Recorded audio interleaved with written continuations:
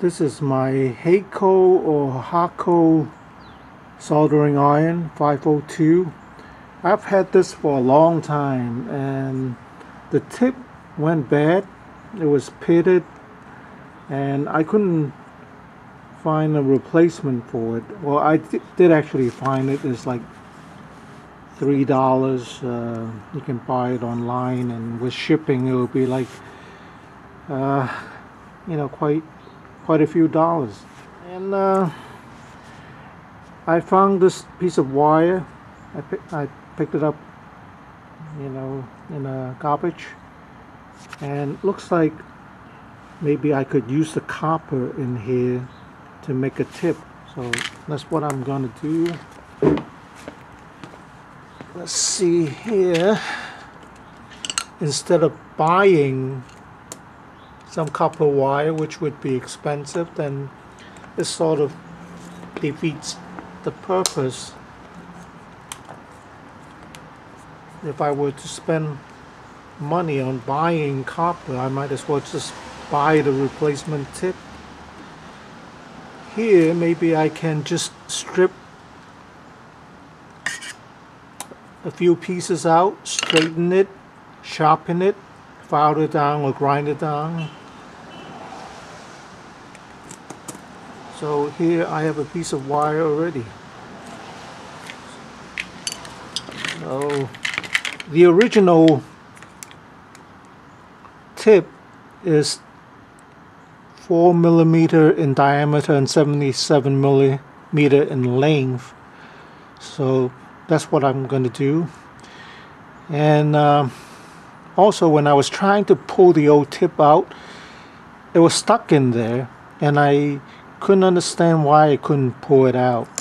There was actually a little uh, raised ridge here at the back here and you really have to yank the thing out and it will just come out. Just so you just un uh, you just loosen the screws here and just yank the, the whole thing out.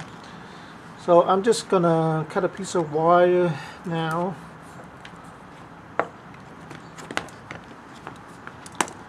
and I'm gonna work on it. Looks like it's copper.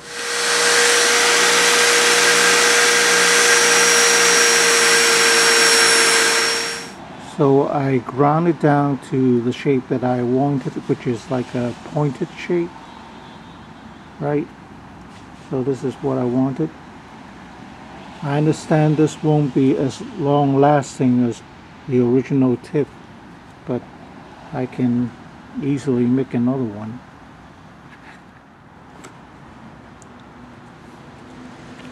Yep, more or less. That's it. I'm going to try it out. I'm going to tin the tip with uh, solder.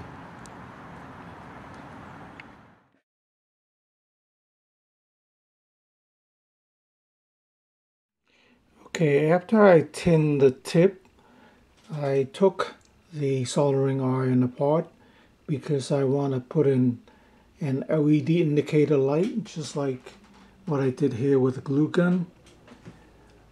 And this is the LED. I put a 100k half watt resistor here. And on the positive side, there's a 1N4007 and that's plugged into AC now. I had tested it before and um, the resistor doesn't get hot at all with this setup. And uh, technically if you do it this way the LED would have some kind of flutter but or flicker. But I don't I don't actually see that. And I think it would work well in the soldering iron here as long as you don't open it while it is plugged in. Of course you wouldn't open it if it is plugged in anyway because this thing is gonna is gonna hurt you because it's gonna be very hot.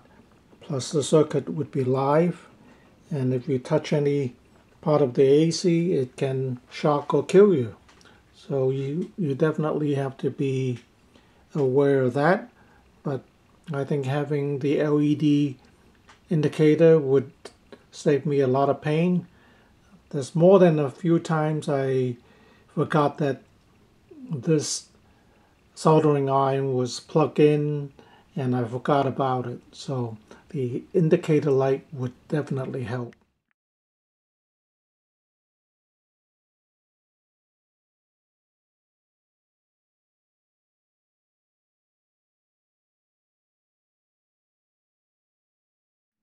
Okay, this is the finished product. I have a new tip and I tinned it.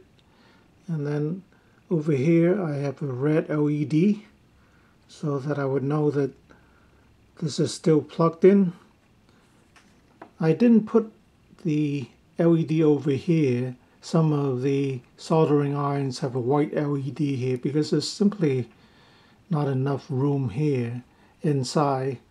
And also this area would get obviously pretty hot because it's close to the body of the soldering iron. So I think this this will work out nicely. Just make sure that you know what you're doing because this LED here is running off the AC mains and don't open up the soldering iron uh, when the unit is plugged in. All right. Thanks for watching.